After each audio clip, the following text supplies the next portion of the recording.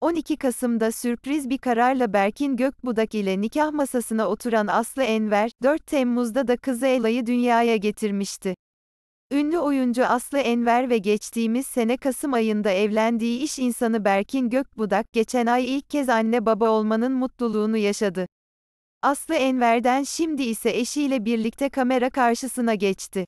Aslı Enver, geçtiğimiz sene Kasım ayında iş insanı Berkin Gökbudak ile sessiz sedasız nikah masasına oturmuştu.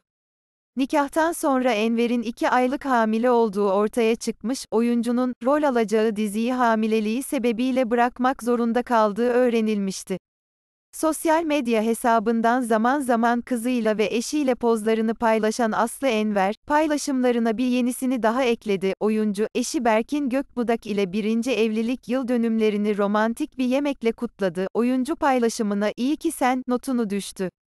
Siz bu konu hakkında neler düşünüyorsunuz yorum yaparak bizimle paylaşabilirsiniz. Yeni güncel haberleri anında öğrenmek için kanalımıza ücretsiz abone olup kanal bildirimlerini açabilirsiniz. Desteklerini bekliyoruz.